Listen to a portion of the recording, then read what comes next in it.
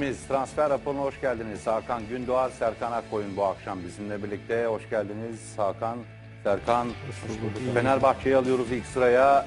İslam Silimani değerli seyirciler şu anda havada uçakta e, 23.15 gibi 23.30 civarında tabi sonuç itibariyle bir rötarda olabilir ama o saat itibariyle Türkiye saatiyle e, İstanbul Atatürk Havalimanı'na inmesini bekliyoruz İslam Silimani'nin.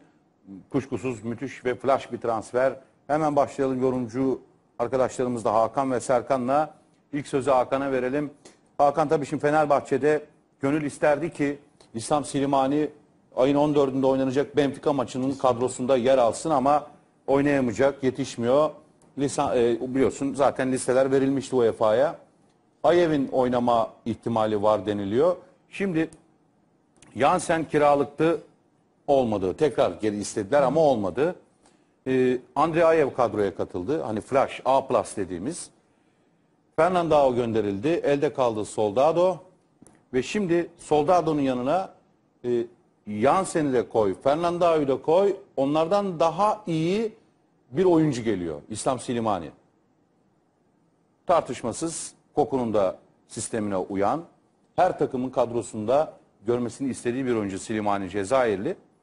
Bilemiyorum faydalı olur mu olmaz mı ama kuşkusuz şu anda gündemin e, en tepesinde İslam Silimani var. İyi bir transfer. Çok ciddi bir adım.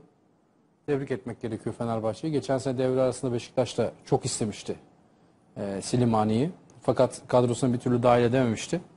E, ama bu sene Fenerbahçe'ye e, kısmet oldu Silimani'yi transfer etmek. E, ben biraz evvel saydığım isimlerden bir tanesini çıkartırsak Yansen haricindeki bütün futbolculara katılıyorum açıkçası. Yansen benim için çok ayrı bir golcü. Çok başka bir stili var. Ee, Ne zaman ne yapacağı belli olmayan santrafor tiplerinden nokta golcülerden bir tanesi. Silimani'yi ama kanatta da oynatabiliyorsun istediğin zaman. Yansen'in pek öyle özellikleri yok. Yansen daha noktaydı. Slimani ama çok ciddi katkı sağlayacaktır Fenerbahçe'ye. Keşke oynayabilseydi Benfica maçında ama tabii Keşke. ki oynayamıyor. Ee, çok ciddi bir katkı sağlardı daha önce alınsaydı. E tabii kulüplerde e, kendi maddi imkanlarını düşünmek zorundalar. Ne kadar indirebilirlerse fiyatları o kadar iyi. E, kiralık geliyor. E, bonservis opsiyonunu vermedi kulübü. E, Slimani'nin. Kiralık olarak gelecek. E, ben çok ciddi katkı sağlayacağını düşünüyorum. E, Sporting'deki günlerine geri dönebilir burada. Şimdi soru şu aslında. Tamam Silimani prensipte okey. İşte hatta eşi de o var e, görüntü değil mi arkadaşlar? o ya. Siliman'ın eşi de e, Silimani arabaya biner, binerken Türk bayrağı ve uçak gös- e, görselli bir şey paylaşmıştı. Onu da verirsek. Şimdi tamam. Ha işte bu görüntü Silimani'nin eşinin paylaşımı. Uçak Türkiye bayrağı Bu gündüz kırmızısını eşi Yüşra Silimani verdi. verdi. Serkan şunu söyleyeyim. Sormak istiyorum ben aslında. Tamam Silimani'nin tabii kariyerinden bahsedeceğiz, konuşacağız. O tamam. Ama Silimani'yi açıklayamazlar. Niye açıklayamazlar? Financial Fair Play'den dolayı açıklayamazlar. Bir, iki, iki. Bir oyuncuyla gönderilmesi lazım bir oyuncunun. Kadrodan çıkması lazım. Kiralıkta durum farklı biliyorum ama neticede yine de bana sanki bir operasyon var gibi geliyor. Onu zaten o kesinlikle ben Benfica maçından hemen sonra da bekliyordum açıkçası. Çünkü Fenerbahçe'nin tamam İslam Silimani'yi kiralık olarak alıyorsun, kadrona katabilirsin ama işin bir de bütçe tarafı var. Senin zaten bütçe de oluşturman lazım. Onun için bile Aynen öyle. elden çıkarman lazım. Zaten bu da planlar dahilinde. Ee, Silimani yani Fenerbahçe için bence Koku'nun düşündüğü oyunda olabilecek en iyi isim bu ekonomik şartlarda ve e, özellikle hepimiz bunu vurguluyorduk zaten. Ayın 9'u bekleniyordu. İşte İngiltere'deki deadline deyin transferin son gününün orada elekten elenecek altta kalanları e, bizim gibi ülkeler kapacaktı. Bence oradan kapılabilecek en iyi isimlerden birisi oldu. E, Yani enteresan da bir hikayesi var. Mesela Slimani Leicester City'ye geldiğinde oradaki İngilizler e, ikinci Vardy geldi demişti. Çünkü 25 yaşında Sporting'e transfer oldu. 25 yaşına kadar Cezayir'de daha görece küçük takımlarda oynadı. Ama geldikten sonra özellikle 2015-2016 sezonunda Jorge Jesus'la beraber yanında da Teofilo Gutierrez vardı. O zaman Benfica 2-6 numaralı 4-4-2 oynuyordu. Çift forvetin daha önde olanıydı ve 27'si lig. Toplam 31 gol attı. Müthiş bir performans ama tabii ki oradaki en büyük etki Fenerbahçe'ye uygun olmasını söyleme sebebimiz o Sporting'in bir kanadında Brian Ruiz vardı, diğer kanadında Joao Mario vardı. Şimdi senin bir kanadında e, onların Brian Ruiz'ine denk gelebilecek Ayev olur. Diğer kanadında da onların o zaman parlattığı genç oyuncusu sonra Inter'e 40 milyon euroya sattıkları Joao Mario'suna eş olacak Barış Alıcı olursa e, önlerindeki Slimani'nin performansı neden Sporting zamanı o zirve yaptığı ki zaten onun Leicester'a 30 milyon pound'a transfer yapmasını sağlayan performansa ulaşmasın.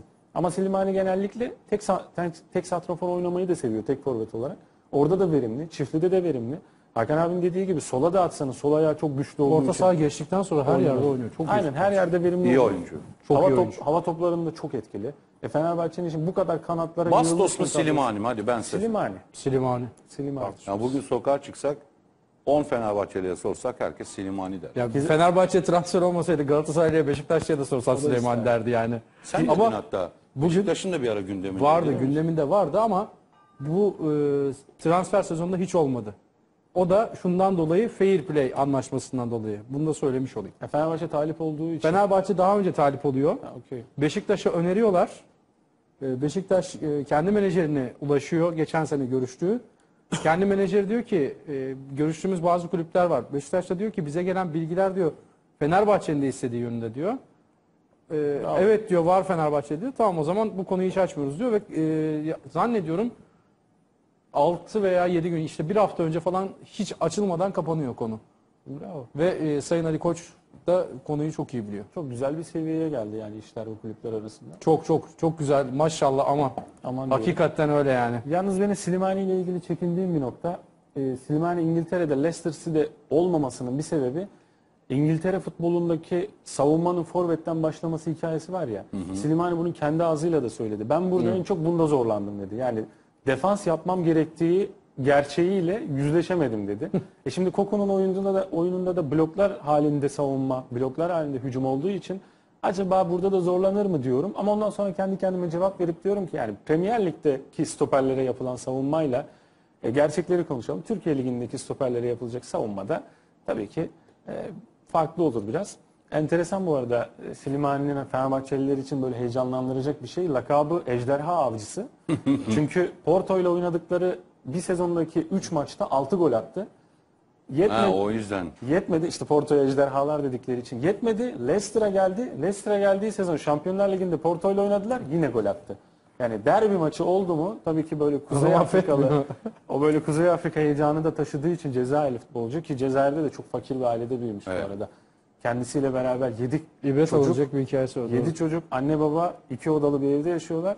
E, hobisi de e, zaten büyüdüğü yer Ayn Beynan diye bir yer. Deniz kenarı. Oraya böyle pet şişelerden kendisine tuzak hazırlamış. Onlarla balık avlıyor. Eve götürüyor onu yiyorlar. Ve 25 yaşına kadar Cezayir'de e, futbol oynayıp sonradan Sporting'de patlıyor. Ama kendisi çok geliştirdi hakikaten. Çok iyi futbolcu. Tebrikler yani Fenerbahçe bence çok güzel bir transfer yaptı Bence ama de gayet doğru. keşke oynayabilseydi işte. Benfica maçlarında daha önce yapılsaydı ama şimdi burada da kimseyi suçlamamak lazım. Yani hakikaten mali durumları kulüplerin hiç iyi değil. Yani iyi değil günden güne de daha bilmediğimiz gerçekler ortaya çıkıyor. Hakikaten Oraya borç öyle. buradan alacak, İşte buradan biraz alacak. sonra Aykut sen yayına girmeden evvel söyledin. Olacak iş değil yani. O konuya da konuşuruz. mutlaka değineceğiz ama gerçekten işler acısı. Gerçekten öyle yani. Kulüplerimizin durumları hiç hoş değil. İşte Beşiktaş mesela şimdi Beşiktaş'a geldiğimizde de konuşuyoruz. O kadar çok futbolcuyla yollar ayrıldı. Şu anda transfer yapması istese yapar, borçlanır yapar, ama yokuş aşağı gidiyor. Zaten Sadece bu Beşiktaş, yüzden- Galatasaray, Fenerbahçe değil. Hepsi yokuş aşağı gidiyorlar. Ama şu an. Fenerbahçe dar boğazdaydı yani. Başka şansı yok. Fenerbahçe'nin mutlaka bir santrafora ihtiyacı vardı öyle ya da böyle. Yani bu iş görülüyor ki solda da öyle gitmiyor. Bunu Benfica maçında ileriye top taşıyan bir oyuncu yok ya da ona servis e, yapılan ortaların hepsi dışarı. Ya Fenerbahçe'nin hiçbir şansı yoktu. Yani borçlan borçlandı da nitekim. Belki fazla da harcadı bütçesine ama yapacak bir şey yok. Fenerbahçe şarttı. Yani bir de stoper şart Fenerbahçe'ye. Yani o Silimani'den Yani ben sonra kurtarır yani şart diyemem açıkçası ya Fenerbahçe stoper için. Yani Roman'la Şikertel'le Yiğitan da çok iyi bir Evet. dönemi geçirmiş. Kurtarır. Galatasaray kadar şart diyemem açıkçası. Ya da Beşiktaş'ın forvete ihtiyacı O kadar bir şart isim diyemem. vardı. Dün stadyumda bizim konuşuluyordu. tabii menajerler de orada olduğu için Hoffenheim'den bir futbolcuyla görüştüğü iddia ediliyordu şeyin Komoli'nin.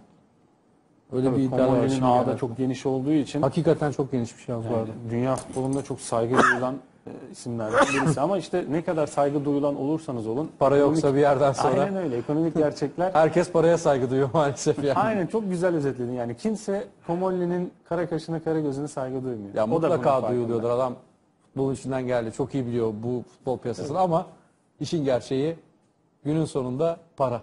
Aynen öyle. Tabii şimdi Fenerbahçe taraftarı için e, bir heyecan oldu Slimani'nin kadroya katılması. Öte yandan tabii hani biz birkaç da böyle haberler verelim izleyicilerimize. E, Devam edeceğiz böyle ara ara döneceğiz Fenerbahçe Beşiktaş'a. Şimdi Trabzon